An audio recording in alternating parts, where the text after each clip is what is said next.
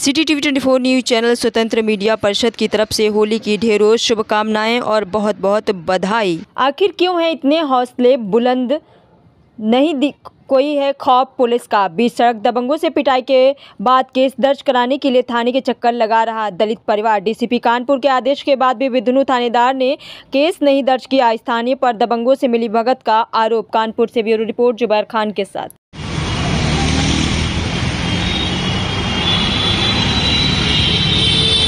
आ जाओ।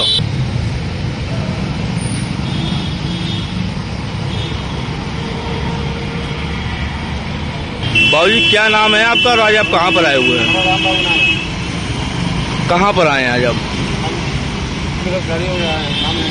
क्या कारण रहा जो आपको यहाँ पर आना पड़ा? क्या कारण रहा जो आपको आना पड़ा? है